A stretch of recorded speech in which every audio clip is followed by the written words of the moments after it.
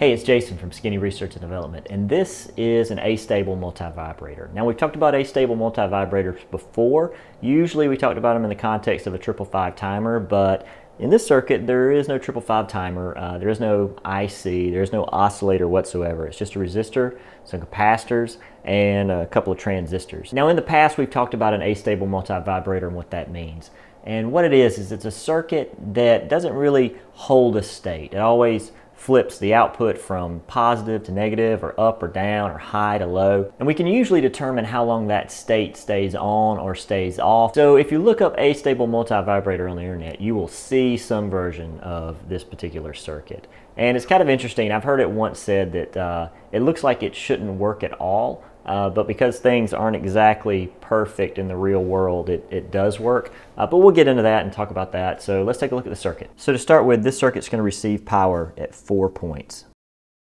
And as usual, I'm using a 9 volt battery. In this case, I think a, a weak 9 volt battery. Off of these four points, there'll be four resistors.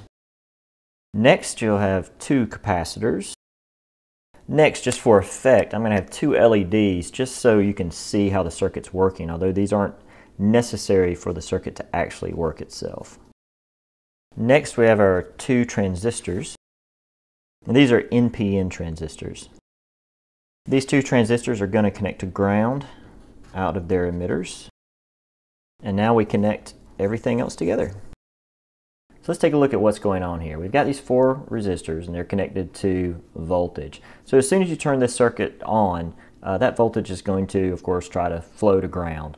Uh, now this leg over here is going to have a bit of a problem with that because um, this transistor isn't turned on quite yet and nor is this one. And so what's going to happen is you're going to have a race uh, between the current that's flowing through R2 and R3 and what that race is is going to be the first uh, one of these legs that's going to turn their transistor on. And we're going to think about these transistors as a switch as soon as the voltage here on the base gets up to usually around 0.7 volts, in our case with this transistor it's uh, 0.95 volts, uh, it's going to turn this leg on and allow current to flow to ground. So as soon as you turn the switch on, uh, these two are in competition. The winner of that competition is usually going to be the resistor uh, that is less in value uh, coupled with uh, the capacitance uh, that is less in value. Now, even if you have R2 and R3 and C1 and C2 all at the same value, um, it doesn't really matter because physically in the real world,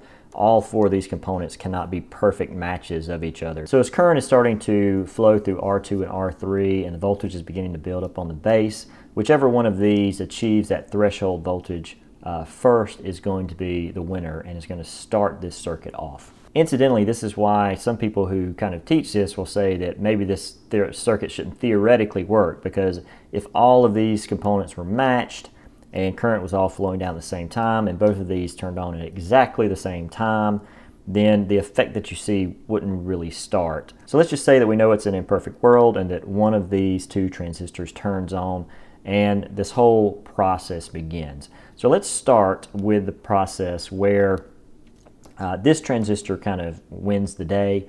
And we'll skip through a couple of cycles because there's some interesting stuff that happens at the very beginning, but let's go ahead and go to a, a state where this is pretty repetitive. So voltage comes down here and turns this transistor on. When this, transistor turns on, current is going to flow from this 9 volt source here through R4.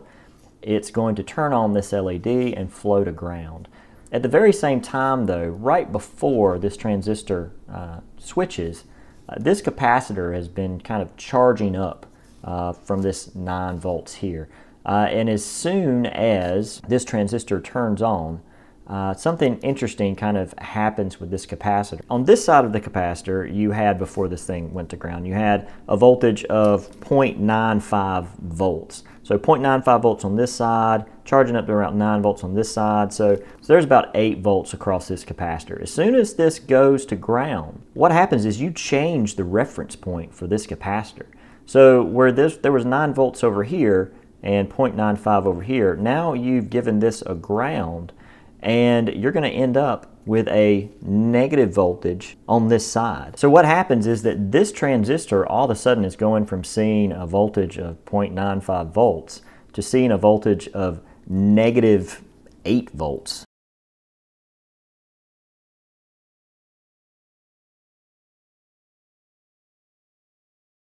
Or somewhere around in that region. Because of that, this transistor immediately shuts off. So now that this transistor is shut off, some interesting things starts to occur. The first interesting thing is that this point is now at negative 8 volts.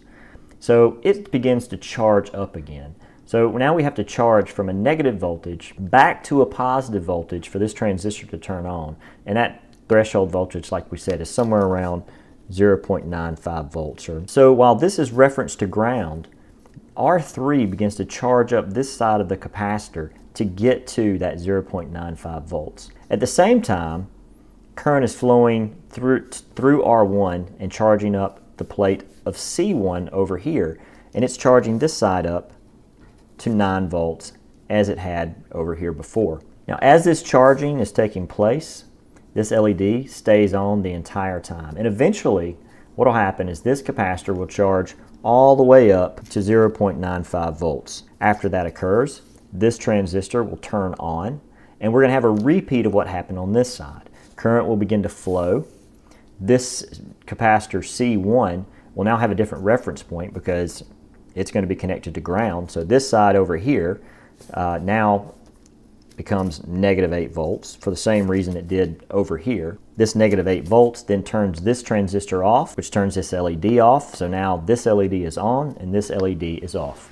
As one transistor turns on, the other transistor will be locked off. And as one side of a capacitor is charging on one side, the inside plate is charging up on the other. Now we can use this circuit for something other than just lighting LEDs. We could actually put some outputs here and here. We could call this output Q and we could call this output Q naught. And the reason we would label them this way is because what you'll notice is that every time this LED is on or every time there's current flowing uh, through this side, then this side of the circuit is at a high.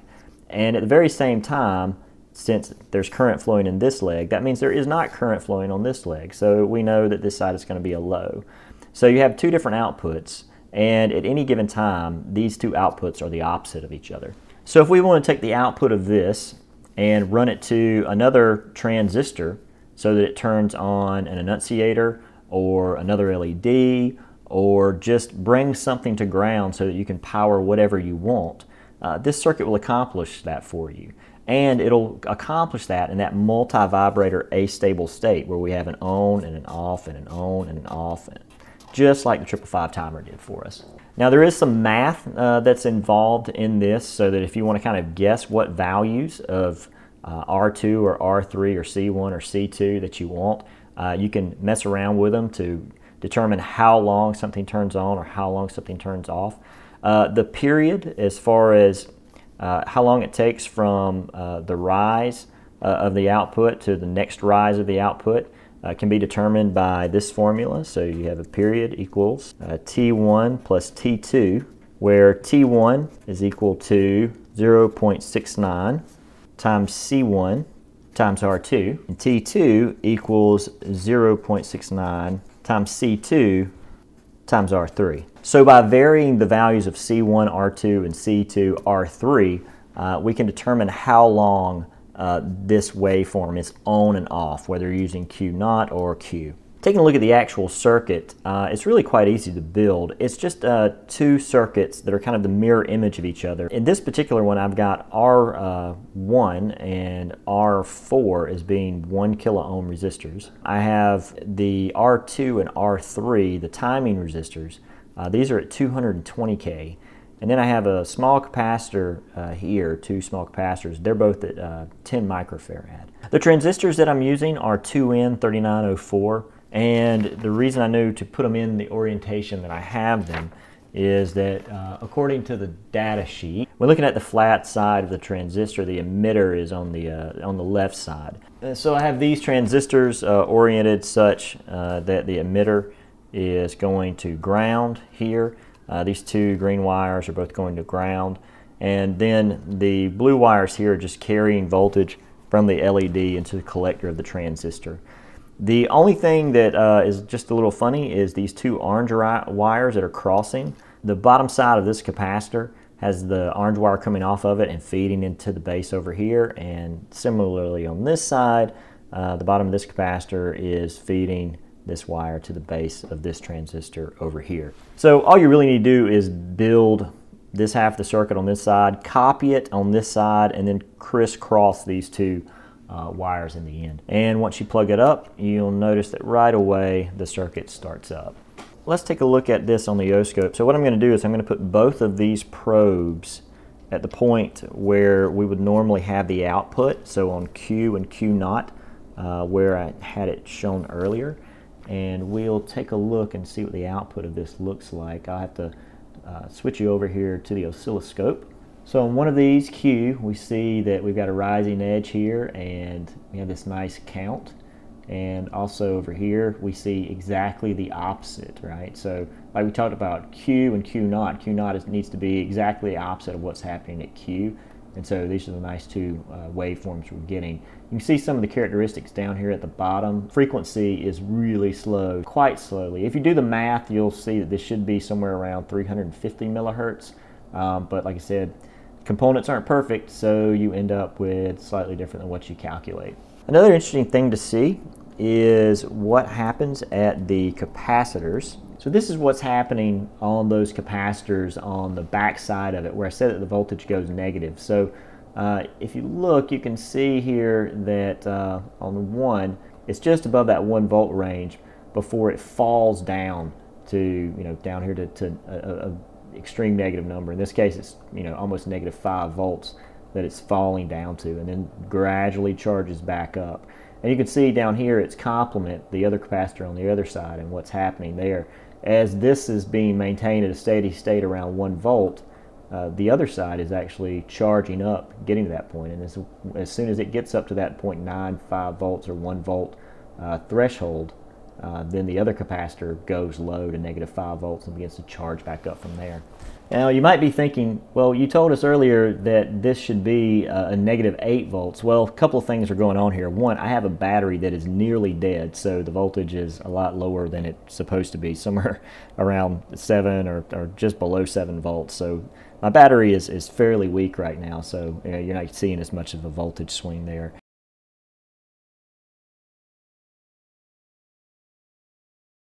This negative drop was probably the most fascinating thing uh, to me about this circuit. So I've seen this circuit a lot, but I never realized that the voltage dropped so dramatically on the base of that transistor when that flip occurred. And so what I did is I took and I, I made um, just a portion of the circuit to prove to myself that this was actually happening. And so I'll show that to you now. So what I have here is a fairly large capacitor, uh, a 1K resistor, a 1K resistor, uh, this 1K resistor is connecting power to this side of the capacitor. I have a 220K resistor connecting power uh, to this side of the capacitor. And then over here uh, that is now lifted and not connected to ground at the moment is a wire that goes from this side of the capacitor to ground, but it's floating at the moment.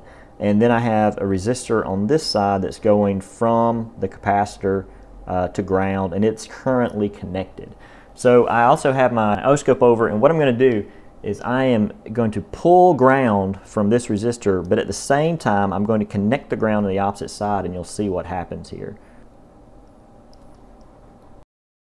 So you see it go negative here and you see it start to charge and now it's still charging. It's taking so long for this thing to charge up to uh, the value uh, that it was before. And so you can see that when you change the reference point on the capacitor like that, um, you end up going from a, a, positive voltage on one side of it um, to uh, uh, all of a sudden this drop in voltage the other side because just because you've changed the reference point. And that was something that was kind of interesting and new to me.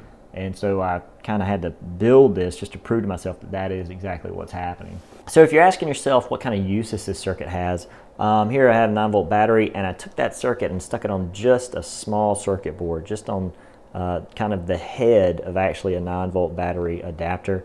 Uh, you can take and hook this up and if you have LEDs on the end of this, um, you could attach this to your shoulder while running. You could attach this to the back of a bike and just have an LED source that's blinking just off of a real simple 9 volt battery. Uh, this is infrared LEDs, but you can see if you take a look, and I'll zoom in here a little bit. If you look closely, you can see these LEDs actually blinking back at you even though um, they're infrared just because this is a digital camera and it can see them. The main thing to know is that you don't have to have a triple five timer. You don't have to have an oscillator or some kind of special IC uh, to make a circuit, uh, make some sort of a timing astable multi-vibrator circuit. I've seen this done in this fashion. I've seen this done with NAND gates. I've seen this done with a bunch of other ways as well. As always, for the schematics and parts list, I've got all that information down in the description. Also to a link uh, to the website where you can grab all that information. If you have any questions or any comments, please leave them down below. And if you have any ideas for any videos, let me know. But uh, thanks for watching. I'll see you next time.